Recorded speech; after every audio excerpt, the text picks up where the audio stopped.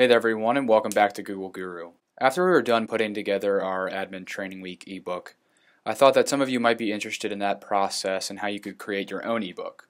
So Google Slides is actually a great place to do this and there's a couple of tricks that you'll need to know before you get started.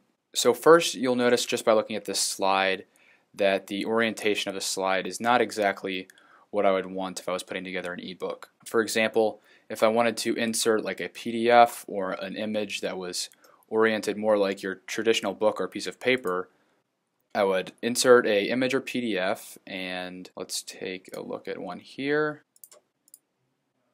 So you can see here that I have this ad from UberConference from our last Admin Training Week ebook and it clearly doesn't fit on this slide. So I could stretch this out to make it fit the slide but then it's going to look really stretched and it it just looks pretty sloppy. So instead of doing that, I'm going to actually change the orientation of the slide. So if I go into File, then Page Setup, I can switch this to a number of different options. So you could change it back to the standard view of Google Slides 4x3 or one of these widescreen options which we just saw, or you could do a custom option.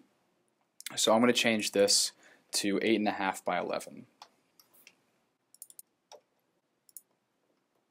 And we can see now that if I slide this ad over, it actually fits the Google slide perfectly. So this is one of the ways that we used Google Slides for our Admin Training Week ebook. Um, you can definitely use it in a number, number of different ways, but this worked out really well for us. So when you're done putting everything together, you can just go to File, Download As, and then save it as a PDF document. So you can share that really easily, or you could just save it in Google Slides and share it from there. So that's just a couple of quick tips on creating your own ebook in Google Slides. If you have any questions about this process, feel free to leave us a comment in the section below the video. Thanks.